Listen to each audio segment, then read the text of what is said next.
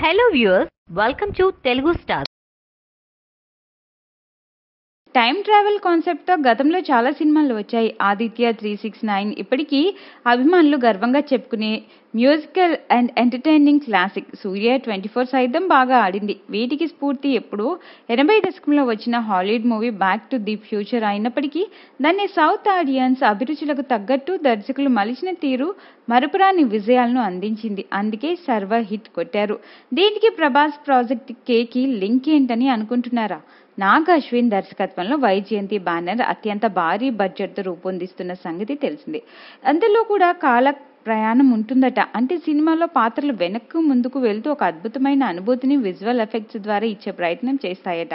Nag Ashwin విజ vision ఏ స్థాయిలో ఉంటుందో మనకు తెలియంది కాదు.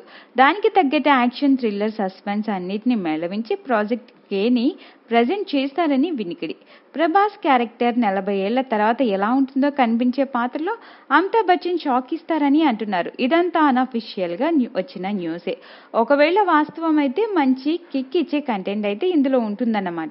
దీపికా పదుకునే హీరోయిన్గా నటిస్తున్న ఈ విజువల్ గ్రాండియర్కు మిక్కీ జే మేయర్ సంగీతం సమకూరుస్తున్నారు. అనుపమ్ కేర్ లాంటి సీనియర్ ఆర్టిస్టులు ఇందులో భాగమవుతున్నారు. కాకపోతే విడుదలకు మాత్రం ఎక్కువ సమయం ఎదురు చూడాల్సి ఉంటుంది.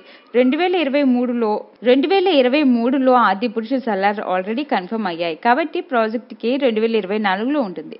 ఒకవేళ ఆ ఏడాది మార్తి మూవీని ఫిక్స్ చేస్తే ఇంకో సంవత్సరం పెండింగ్ పడి పోతుంది. ఎంత లేట్ చేసినా దానికి తగ్గ మ్యాటర్తో కనువిందు చేస్తూ చేయనున్న ప్రాజెక్ట్ కే డార్లింగ్ కెరీర్లో బెస్ట్ అవ్వచ్చని టాక్ అయితే నడుస్తోంది.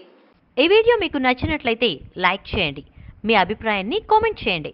For more latest movie updates Please subscribe Telugu Stars.